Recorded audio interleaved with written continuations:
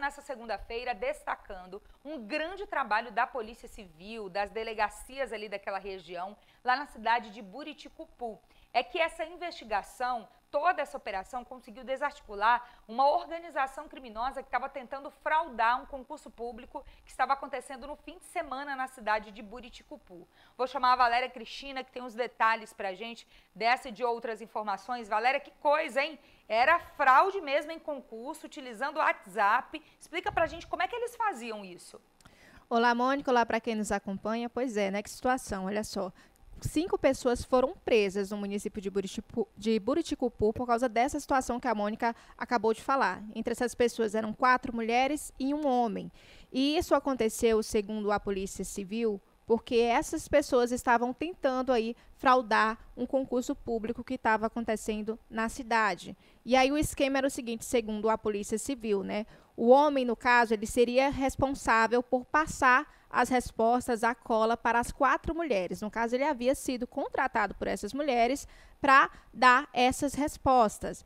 A polícia disse que o suspeito cobrava 3 mil reais para ir até o município, fazer a prova e passar as respostas por aplicativo de mensagem.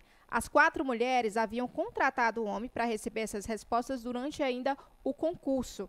E aí a Polícia Civil do Estado do Maranhão soube desse esquema criminoso, foi até o local, eles foram presos em flagrantes, viu? Que situação.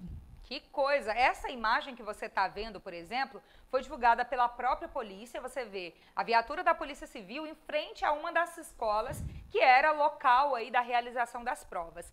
Para essa prova lá em Buriticupu, muita gente aqui de Imperatriz, dos municípios vizinhos que fazem parte do sudoeste do Maranhão, muita gente dessas cidades vizinhas estava lá em Buriticupu também para fazer a prova, não é tentando uma vaga no concurso público e acabou causando tudo isso. Detalhes, Valéria, já se a prova vai seguir, se o certame vai ter alguma interrupção, isso ainda não foi divulgado oficialmente, não é?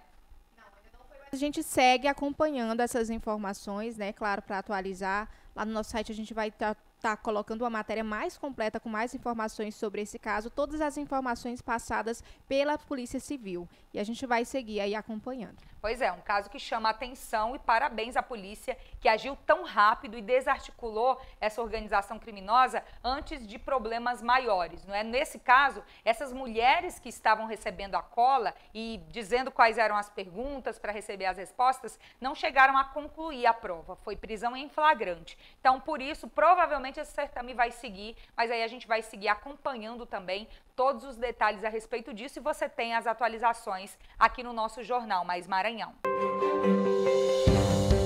Jornal Mais Maranhão. Notícias com credibilidade e equipe competente.